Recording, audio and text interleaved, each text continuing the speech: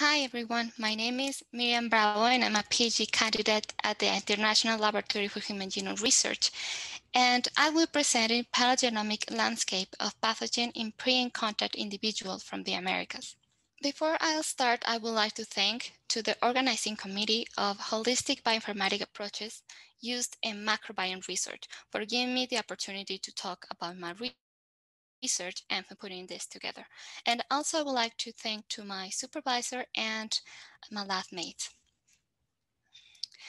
The outline of my talk is ancient pathogen screening through a metagenomic analysis, and I will explain more about the taxonomic classification I used. Um, and we employed a software called Kraken.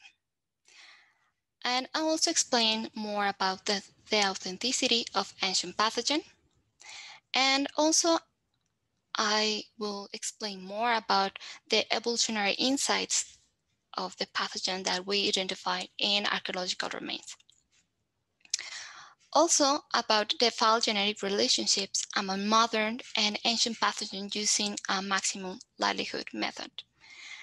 And as a last point, I will explain more about the gene presence absence analysis of ancient pathogen genomes that we reconstructed.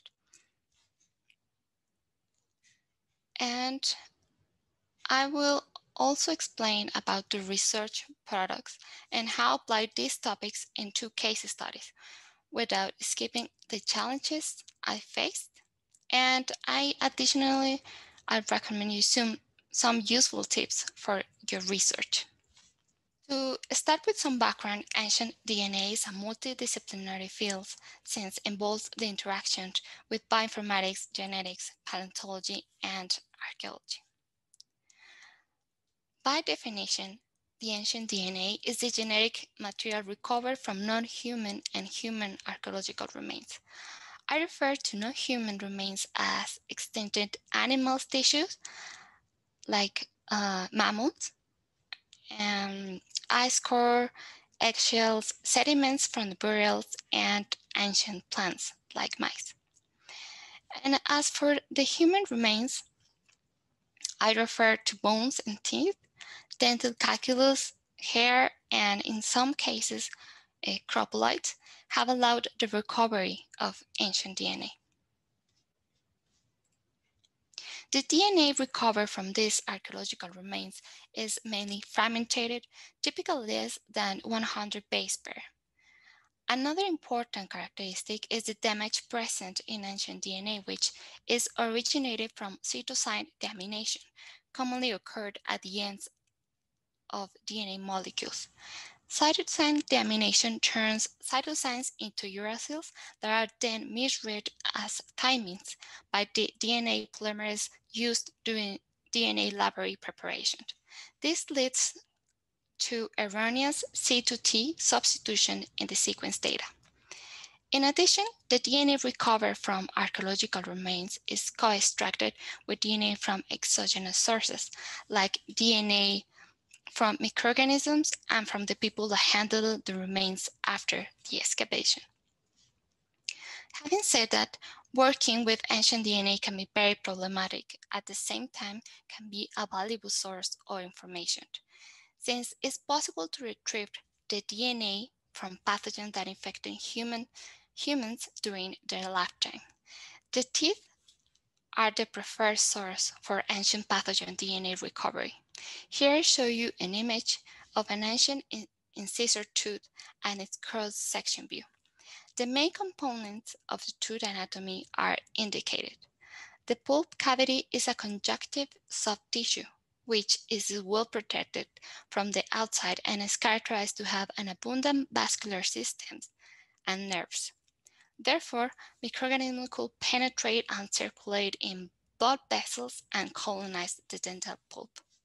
Pathogens have been part of our evolution and have had long-term consequences on our genome.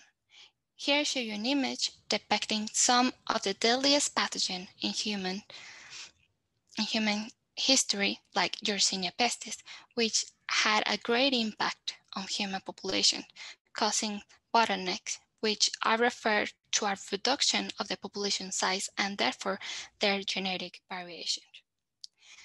This led us to pose the following research question.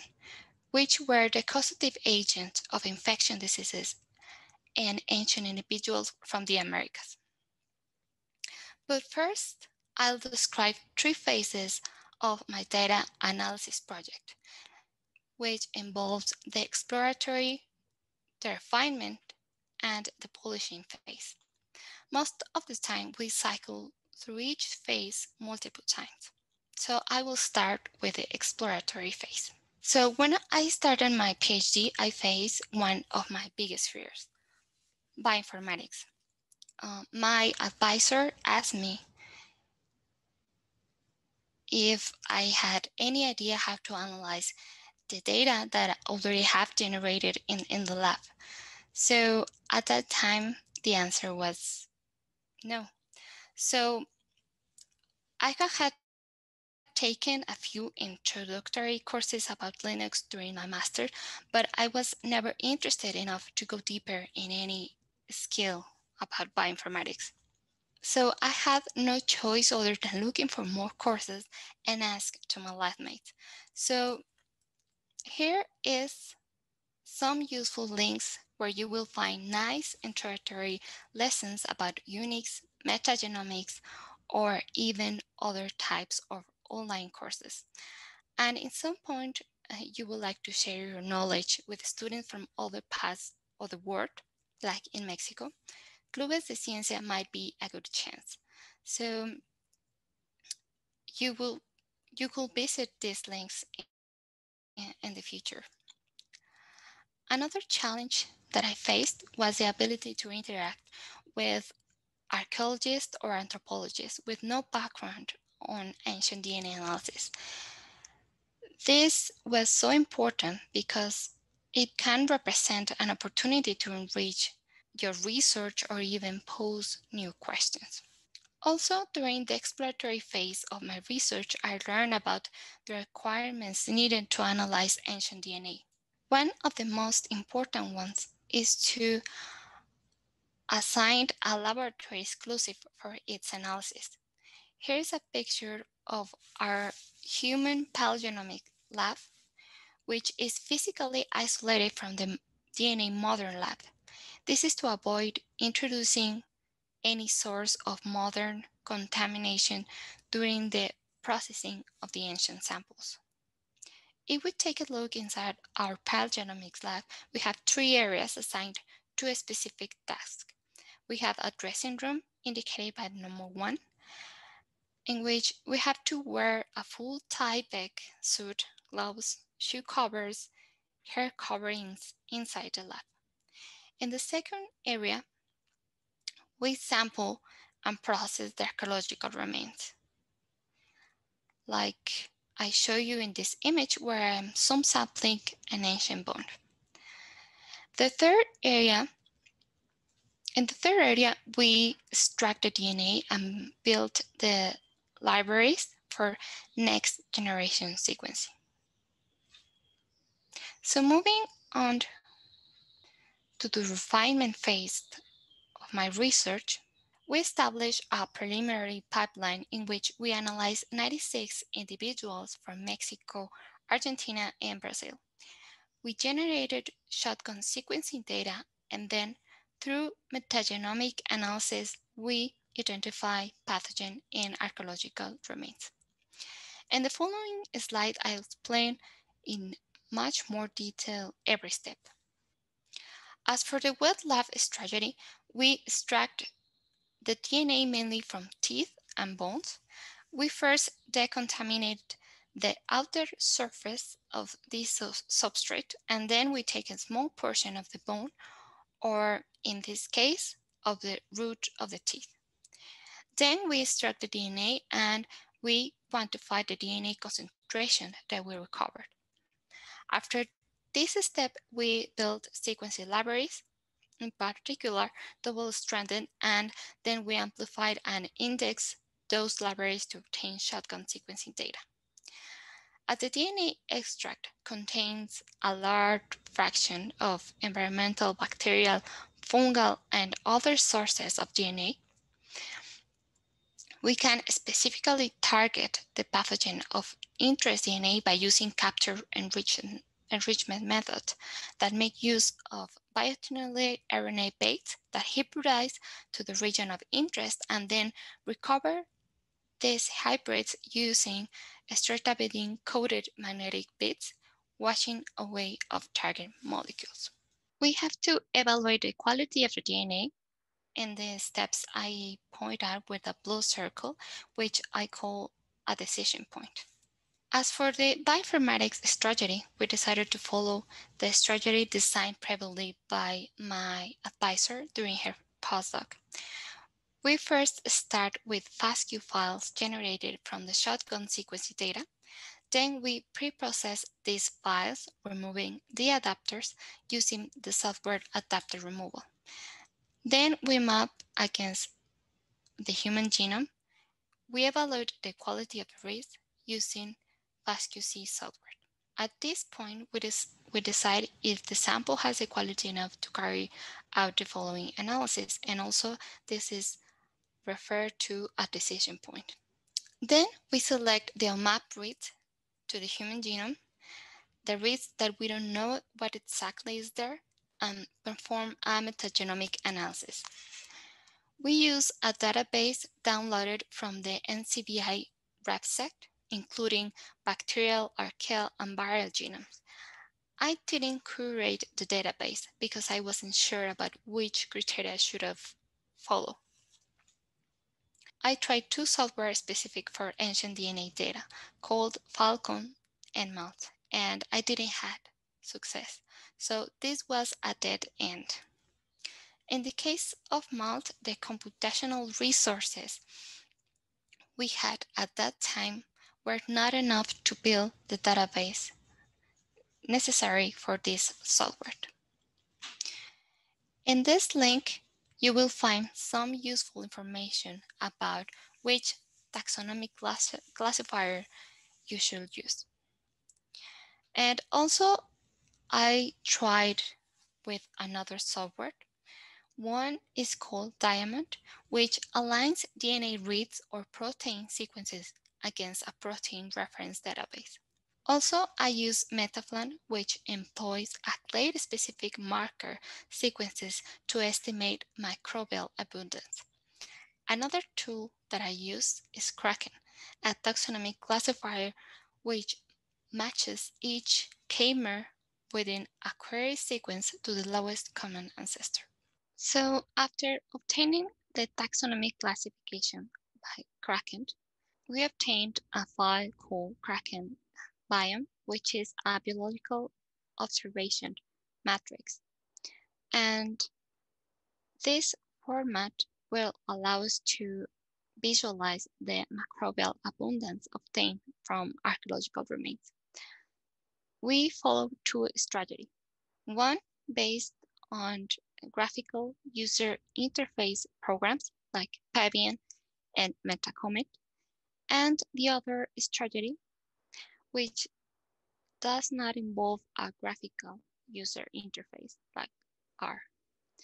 And then we screen the presence of pathogen and we do this manually.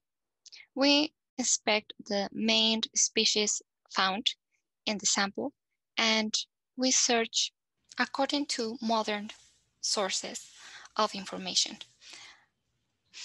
So after identifying the presence of pathogen DNA in the archaeological samples, we evaluate its authenticity. As I mentioned previously, we evaluate the base substitution C2T and J2A, which are characteristic of ancient DNA. We used a program called MapDamage, which help us to visualize the frequency of these substitutions and is represented by this type of graph. In the graph in the bottom, it is an example of how should look a modern sample, which is the lack of this base substitution. Then, after evaluating the authenticity of the ancient DNA, we, we decide to follow a capture enrichment step, as I mentioned previously, and then we decide if we have the data enough to carry out phylogenetic reconstruction. We normally do this type of analysis using genes, and the other strategy involves a single nucleotide polymorphism with modern and ancient genomes.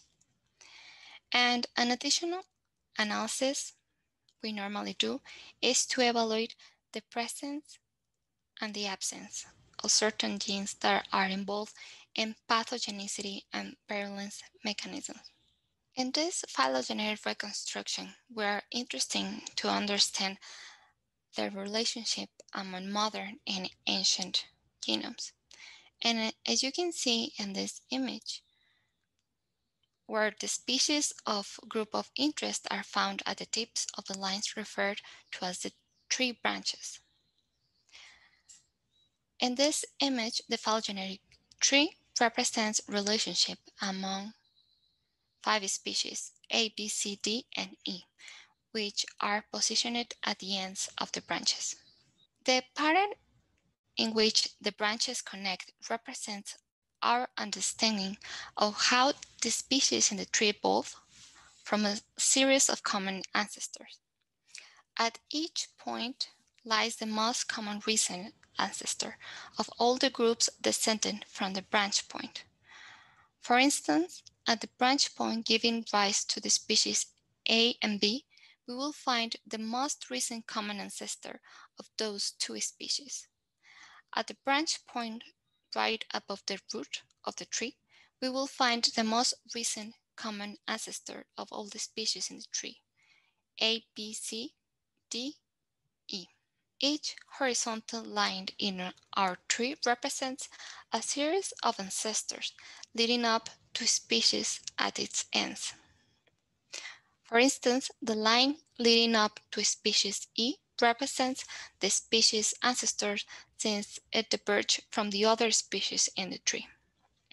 Similarly, the root represents a series of ancestors leading up to the most recent common ancestor of all the species in the tree. We're planning to improve the previous strategy that I explained before, and we are planning to apply a pipeline specific for ancient DNA, like this is like shown in this image. So I'm moving on to the third phase, which is called the polishing phase. In this phase, I'll explain more about two research products. In this phase, we analyze 20 pre-contact individuals from Mexico and 30 and 33 individuals from contact period also from Mexico. And as for South America, we analyzed 21 pre-contact individuals and 22 contact individuals from Argentina and Brazil. As the first research product, which is called Recovery of an Ancient Salmonella enterica genome from a colonial individual from Mexico City. And we have done this study in collaboration with two researchers from Mexico and from Copenhagen, Denmark. To start with some background, Salmonella enterica is a rod-shaped gram-negative facultative intracellular pathogen which causes a severe bacteremic illness referred to typhori and paratyphoid fever and collectively called as enteric fever. This is caused by salmonella occurs after ingestion of food or beverage contaminated with the bacterium, which is depicted in this figure. After gaining access to the gut lumen, the bacteria disseminates systemically via the lymphatic system, and the symptoms can vary from asymptomatic to severe, to severe ones, causing perforation and profuse hemorrhage of ileal ulcers. Today, three studies have recovered the genome of these bacteria from teeth samples. The oldest genome reconstructed so far is from an individual recovered from Norway. The second one involved the analysis of samples from Russia, Italy, and Turkey. And the most recent one is from two individuals recovered from South Mexico.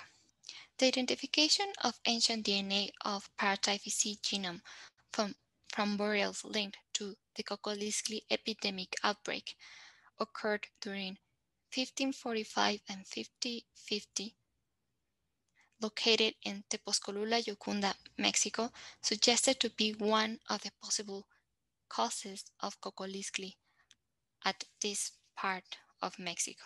Kokolizkli is a deadly disease of a known cause, which was characterized to cause an intense bleeding and high fever. It was estimated that between 5 to 15 millions of individuals die because of this epidemic outbreak.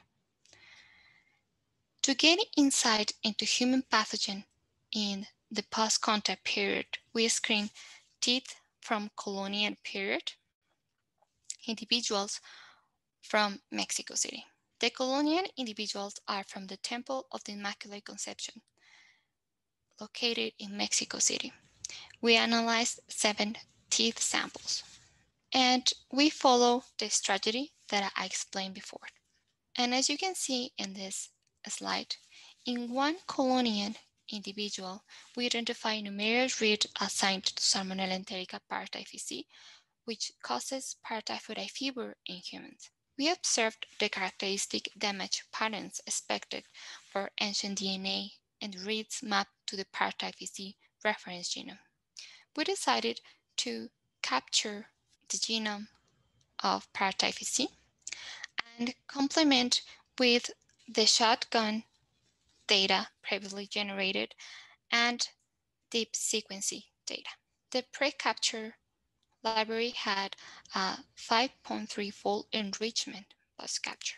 This allows us to assess its phylogenetic relationship with available genomic sequences of ancient and modern strains of Salmonella paratyphi. For the phylogenetic placement, we include six ancient Salmonella enterica genomes indicated in this map, two from Mexico and three individuals from Europe. In the alignment, we also include 18 Salmonella enterica modern genomes. We select the genomes with depth above 3x to ensure reliable SNP coding. The phylogenetic analysis was performed with approximately 70,000 SNPs that could be called from at least 90% of the genome. All Salmonella enterica genomes from ancient individuals are phylogenetically close to the previously designated Paracy lineage. The ancient genome recovered in this study, called CO05, and together with the previously reported genomes for South Mexico, Tepos 14 and Tepos 35 clustered with modern paratyphi C. In summary, we were able to reconstruct a paratyphi C genome approximately with a 10x depth from Mexico City, dated to colonial period. This study provides a direct evidence that paratyphi C affected people elsewhere besides only the south of Mexico. During the 1545 Kokolizkli epidemic outbreak. Through phylogenetic analysis, we were able to determine a closer relationship between our strain and two strains from recover from South Mexico. We are interested in identifying generic variants in these ancient genomes related to the evolution and pathogenicity of Salmonella enterica paratype C in Mexico population during the colonial period.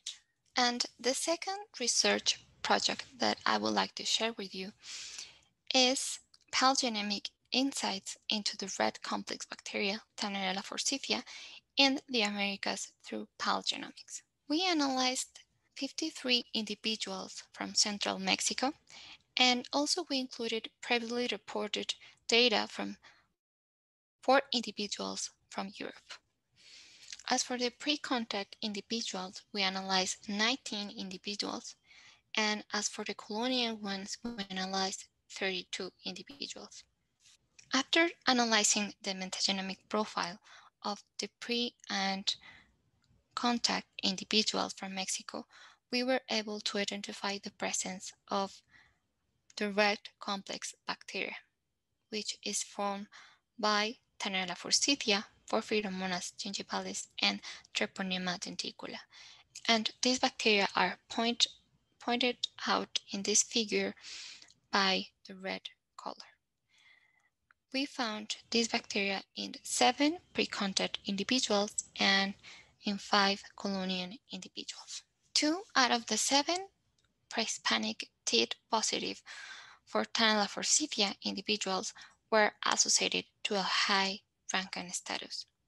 This could be involve a different lifestyle and a different diet compared to the other individuals and this could be influence the presence of certain bacteria, in this case like Tannarella forsythia. We, decide, we decided to capture 234 genes involved in essential process and also involved in antibiotic resistant mechanism. And additionally, genes involved in transported and virulence mechanism. After the capture enrichment strategy, we were able to reconstruct the phylogenetic relationship of 15 ancient and two modern Tannarella forsythia genomes. And as you can see in this image, the pre-contact individuals indicated by light green form a cluster. On the other hand, we see a second cluster formed by colonial individuals indicated by a blue line and also this cluster is conformed by European strains indicated by the red color. So as you can see, the phylogenetic placement in this genome follow temporal fashion. We were able to distinguish the pre-contact strains and the colonial individuals. And when we evaluate the presence and absence of the 234 capture genes, we observe a differential presence of two genes, annotated as having essential functions between pre-Hispanic and colonial individuals and also European individuals. And we're expanding this project in collaboration with two researchers from the University of Lausanne. In this study, we're interested in reconstruct the Tannarella forsythia genome from hunter-gatherers from Brazil and also trying to understand its relationship with the previously reported data from our previous study and also from an ancient individual from Chile and individuals from Europe. To better understand the genetic diversity of Tannarella forsythia, we evaluate its phylogenetic placement to other ancient Tannarella forsythia genomes from Chile, Mexico, and Europe, as well as modern strains. We built a phylogenetic tree only selecting the Tannarella forsythia genomes above 4x depth of coverage. And as you can see, the phylogenetic positioning followed a temporal trend. The individual called MN119 group to a modern strain from the United States and to a historical individual from Germany. CS40. A second plate was composed of pre-Hispanic individuals from Mexico and one individual from Chile. This indicates that the Tenella forsythia strain found in MN119 individual was probably introduced during the European colonization of Brazil. Further genomic characterization of ancient Tannerella forsythia genomes across the Americas will contribute to the understanding of the pathogenicity mechanisms of this pathogen. The overall take-home message of this talk is that through ancient DNA and bioinformatics strategies, we were able to identify two pathogen DNA, Tannerella forsythia and Salmonella enterica Paratyphi C, and to understand more about their evolution and genetics from pre-contact and colonial individuals from Mexico and also from hunting gatherers from Brazil. Thank you for listening and I will be happy to answer the question through Slack or during the question and answer live session on Thursday.